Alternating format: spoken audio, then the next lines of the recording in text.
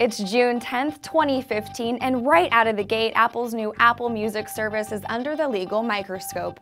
New York's Attorney General and the Connecticut AG are both looking into whether Apple pressured record labels to get on board while pulling support for competitors such as Spotify.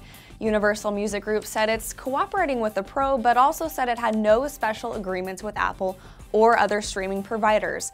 SpaceX and Tesla boss Elon Musk is back in the news with word he's asked the US government for permission to begin testing a project that would beam internet access from space. The system would be comprised of 4,000 small satellites that would saturate the Earth with high speed internet, much like the way the GPS system uses a fleet of satellites to pinpoint your location. Bill Gates once hinted at building the same thing. We bet Elon can get it done. Find out more about these stories and get the latest news about our digital world at digitaltrends.com. That's DT Daily for today. We'll see you tomorrow.